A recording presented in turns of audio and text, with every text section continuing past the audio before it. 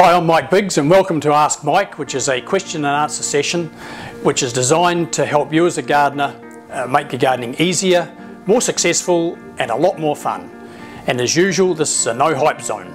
Today's question comes from Lewis in Reno in California and he asks, what's the difference between EC, CF and ppm or parts per million. Briefly, EC and CF are measurements of the electrical conductivity of a nutrient solution and parts per million is a measure of the actual number of ions or salts that are dissolved in the solution. This method was actually first devised by Dr Alan Cooper in the UK way back in the late 60s and early 70s when he invented NFT.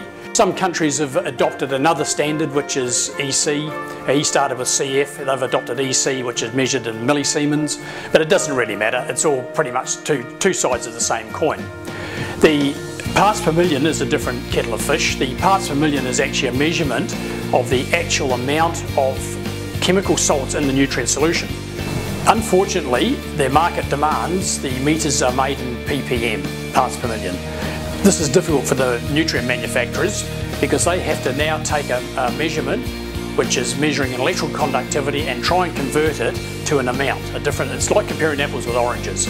So they've had to take an average of all nutrient solutions and come up with a scale that will read on their meter simply because the market demands it. You're far better off to use EC or CF when you're reading your meter. Well, thanks for joining us. If you have any indoor gardening questions, just email. This is Mike signing off.